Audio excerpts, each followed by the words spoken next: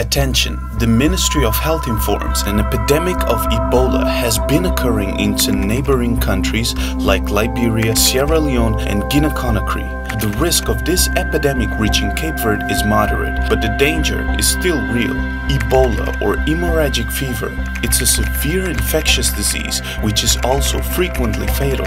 The time between infection and the onset of symptoms is 2 to 21 days. If you've been in any of the countries above mentioned in the last three weeks and have symptoms like fever, fatigue, headaches, nausea, hemorrhage, please drive up immediately to the nearest health station. Collaborate for a Cape Verde free from Ebola.